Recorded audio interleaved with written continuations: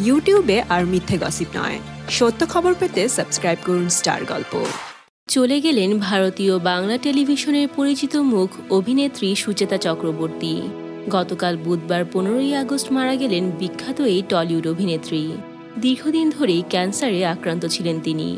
ক্যান্সারে আক্রান্ত হওয়ার পর থেকেই অভিনয় থেকে দূরে সরে যেতে শুরু করেন সুচেতা চক্রবর্তী। দীর্ঘদিন ধরে বাংলা ছবি ও সিরিয়ালে তাকে দেখা গিয়েছে। স্টার জলসার জনপ্রিয় সিরিয়াল আচলে অভিনয় করছিলেন।